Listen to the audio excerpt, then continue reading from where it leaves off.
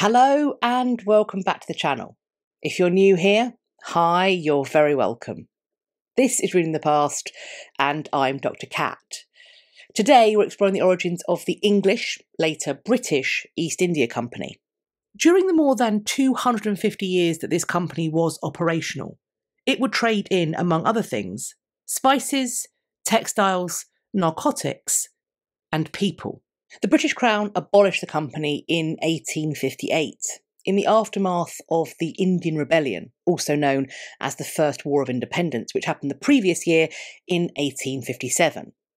However, the foothold this company had established through its administrative controls, taxation system, military might, and property provided the British government with the necessary elements to enact British colonial rule over India in the form of the British Raj, which held power until the Indian Independence Act of 1947, that also saw the partition of India.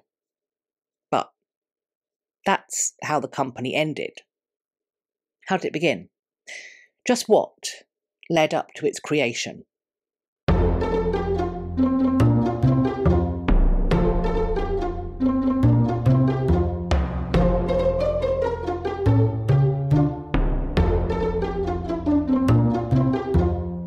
At the very end of December, it will be 421 years since a royal charter was granted to the founder members of the East India Company. As this company was gearing up, the sun was getting ready to set on the Elizabethan age. Nevertheless, the formation of this company has roots that stretch much further back than that. And to understand the origins of the East India Company, which is the purpose of this video, I want to provide some brief, hopefully not too reductive, context. I'm also planning to link any relevant context providing videos that I've made in the description box of this video. From the late medieval period, a host of nations found themselves engaged in a kind of race that was equal parts technological, spiritual, territorial, fiscal, and defensive. As our focus for today is on the English slash British East India Company, let's use England, specifically Elizabethan England, as the example to unpack these motivations. When Elizabeth ascended to the throne in 1558, her nation had weathered the religious upheavals and foreign and domestic threats of her father and half brother's Reformation, and then, after that, her half sister's counter Reformation. Elizabeth's own faith would undo her sister's work and take the nation away from Rome and the papacy once again. Elizabeth also inherited a nation in great fiscal trouble. Her father had debased the currency to such an extent that it was now distrusted at home and abroad. Traders were requiring greater weights of English coin for their wares to ensure that they weren't being shortchanged. Additionally, Elizabeth was the daughter of the first Queen of England to be executed for treason. Elizabeth had been named a bastard by her father and removed from the line of succession by him for a time.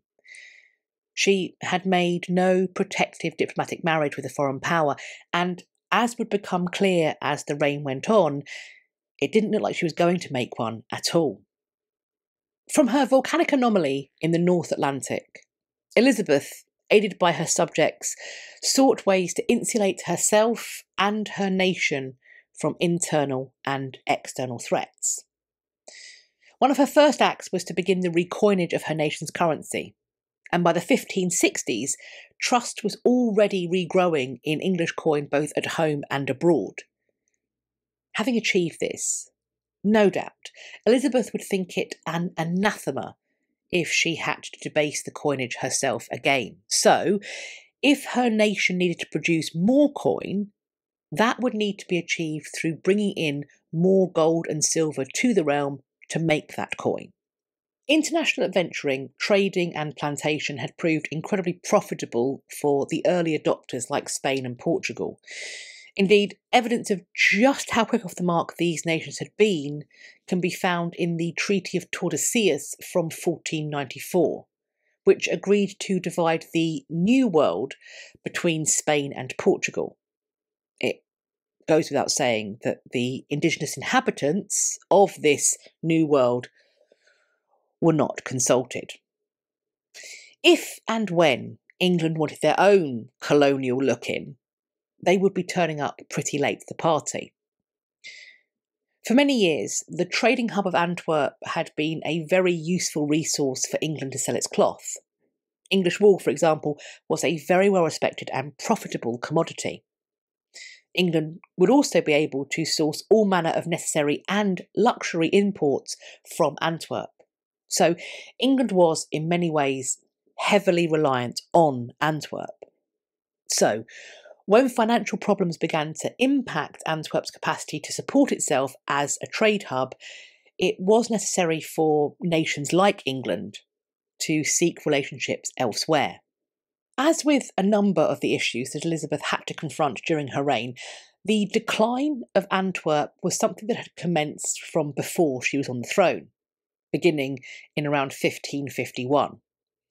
Also dated to around this time was the formation of a collective known as the Mystery Company and Fellowship of Merchant Adventurers for the Discovery of Unknown Lands, etc. The plan for them was to skip over Antwerp as a now ill equipped middleman and instead to find new trade routes and trade relationships for King Edward VI England to enjoy. As a first attempt, this company went in search of a northeast passage, one that would allow them to trade directly with Cathay, as it was known then, and also with the Spice Islands.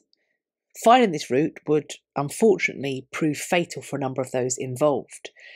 In fact, the Northeast Passage would not be completely journeyed through until the later 19th century. Unsurprisingly, this 16th century company's mission would therefore change to one of diplomacy, in the hopes of creating a successful trading relationship with Russia by winning Tsar Ivan IV over. We might know Ivan IV better as Ivan the Terrible. In this, the company achieved their end. So in 1555, Queen Mary I oversaw this company being reincorporated to be known as the Muscovy Company, also known as the Russia Company. At last, England's dependence on Antwerp was not all consuming. And this company would continue to operate successfully in the next reign of Mary's half sister Elizabeth and beyond. So, some good news for Elizabeth there then.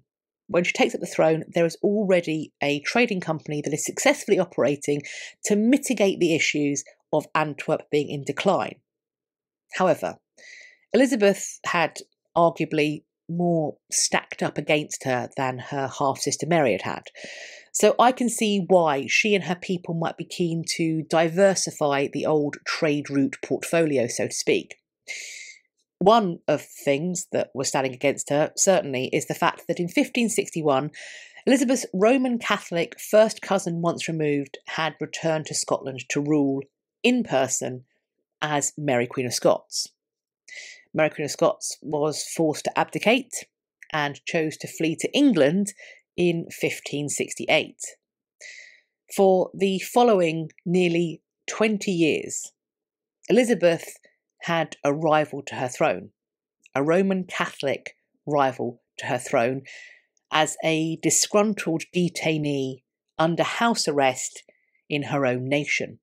To compound the problem, raise the temperature and the threat level, in 1570, so two years after Mary Queen of Scots had arrived in England, Pope Pius V published the Regnans in Excelsis, a papal bull excommunicating Elizabeth, which as a result, named her as a false monarch, to whom no loyal Catholic owed allegiance, and whose deposition would therefore be divinely sanctioned. With a Roman Catholic option so close at hand in Mary Queen of Scots, tensions unsurprisingly began to run high, and thoughts turned to defence, how to fund it, and how to enact it. In 1577, Dr. John Dee's The General and Rare Memorials Pertaining to the Perfect Art of Navigation was one of the earliest extant texts to make mention of a British Empire as a notion. Elizabeth's court astrologer was also a leading advisor for her in maritime matters, and he used this book to press the value of having a strong navy, one that would not only defend Elizabeth's realm, but would also expand its borders and enrich its coffers. In offering this advice, Dr. John Dee frequently wins quite a lot of admiration from historians for his powers of foresight.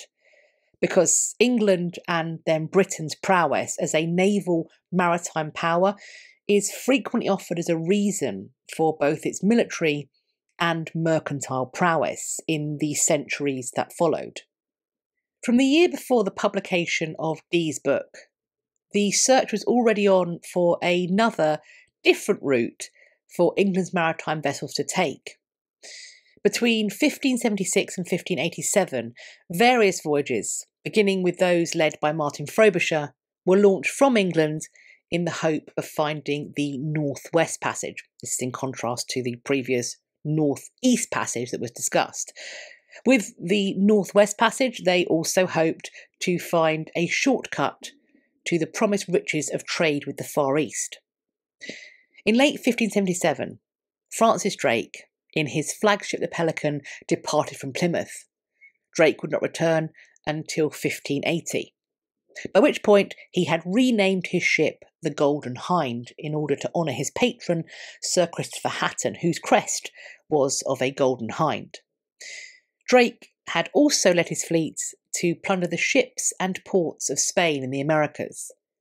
Especially profitable was the Golden Hind's raid on a ship called the Nuestra Senora de la Concepcion, which was apparently filled to the brim with valuable commodities.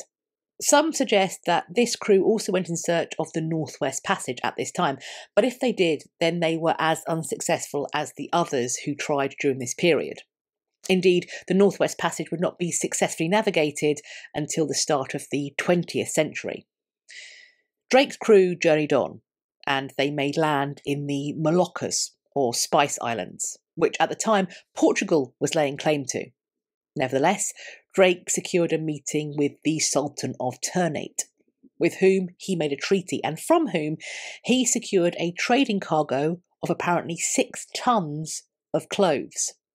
On September the 26th, 1580, the Golden Hind returned to Plymouth, having also circumnavigated the world. It is said that from this voyage's mostly piratical activities, the investor saw a profit of 4,600% on their original investment. According to the economist J.M. Keynes, the English foreign debt was paid off from the Queen's share of the proceeds, and there was enough left over, some £42,000 apparently, for her to also capitalise on a new venture. A venture that was able to come into being following a series of diplomatic negotiations between Elizabeth and the then Ottoman Sultan Murad III. These negotiations took the form of a fascinating correspondence and exchange of envoys between these two heads of state. This diplomacy would continue into the next Ottoman reign, where, in addition to communicating with Murad's son and successor, there was also an exchange of letters and spectacular gifts that took place between Elizabeth and Murad's former chief consort, a woman who had taken the incredibly powerful title of Valide Sultan when her son, Mehmed III, succeeded his father in 1595. It is said that this woman, Safiye Sultan, used one of Elizabeth's gifts, a golden coach, which she is thought to have received during her son's reign in around 1599, to gallivant around Istanbul, which caused an enormous scandal. Her return gifts to Elizabeth, according to her letter of thanks for the carriage from 1599, were, quote, a robe, a sash, two large gold embroidered bath towels, three handkerchiefs, and a ruby and pearl tiara. I don't know why, but I really enjoy the thought of these two incredibly powerful women communicating with each other and sharing these gifts back and forth. But for the rest of our story, we have to hop back to the previous Ottoman rule, the rule of Murad III. In 1580, he agreed to full trade capitulations for England. The following year, 1581, saw the creation of the Turkey Company, also known as the Levant Company. And it was in this venture that Elizabeth invested her profits from Drake's circumnavigation, or rather, probably from the piracy that he took part in during that circumnavigation. In many ways, Elizabeth is holding her hand dangerously close to the fire here, while seemingly claiming that she hopes to avoid being burned. It's said that Elizabeth talked a lot about the need for discretion. As far as I'm concerned, Philip II of Spain was well aware of how his losses to Elizabeth's pirates were not only going unpunished, but were seemingly being celebrated and rewarded by his former sister in law. Then Elizabeth, as an additional source of annoyance, had both declined to marry Philip when she became queen and also had chosen to remain arrogantly Protestant throughout her reign. In 1586, Elizabeth's throne and life were threatened by the Babington plot, which sought to replace Elizabeth with Mary Queen of Scots. Now, I've seen this requested a lot in the comments, and I am planning to make a video on the Babington plot very soon, so do keep an eye out for that. But within this plot, Elizabeth's rival queen was caught up, some say entrapped, in a treasonous scheme. For this, Mary Queen of Scots would be executed at Fotheringay Castle on the 8th of February 1587. When the news broke, the Catholic nations of Portugal and especially Spain were horrified by Mary's death. They were also, perhaps understandably, pretty fed up with having their treasure ships and ports being continuously raided and robbed by English ships. The Anglo Spanish War had officially begun in 1585, but I would argue that the most famous fracas came in 1588 with the launching of the Spanish Armada in an ultimately failed attempt to invade England and overthrow Elizabeth. However, England and Spain would officially remain at war until 1604, at which point King James I and his government made peace with his predecessor's greatest enemy. But in the meantime, there would be various acts of aggression. Elizabeth's privateers, as no doubt she termed them, that's simply a polite word for pirate, continued to show that great profits could be found by capturing and despoiling the treasure ships of Spain and Portugal. Certainly, Elizabeth's coffers were filled with the returns on her investment in these privateers' voyages. In 1592, a Portuguese ship the Madre de Dios was seized. In the ship's hold were inordinate riches. There were precious gems and metals, fine fabrics, and costly spices. But arguably, as if not more valuable, was the fact that something else that was seized was this ship's mariner's handbook, a how to guide, if you will, for engaging in the profitable trade with China, India, and Japan. As well as going after enemy ships, these privateers continued to take any opportunity to plunder the ports of Spain, whether they were mainland ones or those overseas. Probably the most famous is a mainland port being attacked, this being the sack of Cadiz, which took place in 1596. Apparently, this was motivated by a fear that another armada might be coming England's way, that a new Spanish fleet was being gathered at one of Spain's most important ports, Cadiz. However, the port also held a merchant fleet that has been estimated to have been worth as much as 12 million ducats. And the spoils from that would have enriched both the privateers and their patrons, of which the Queen was one. As it was, the attackers focused their attention on bringing Cadiz to its knees first, and this allowed the Spanish to burn the merchant fleet rather than let it fall into enemy hands. So, the privateers would have to make do with the ransom they secured to ensure the safety of the inhabitants of Cadiz, which was worth 120,000 ducats, so quite a lot less than that merchant fleet. They could also take whatever else of value they were able to seize while they were sacking the city. By the second half of the 1590s, it seems evident that increasingly those of an adventurous and mercantile disposition were having their eyes trained on securing both a trade route to and a trading relationship with those eastern lands that produced and sold the most coveted of luxuries.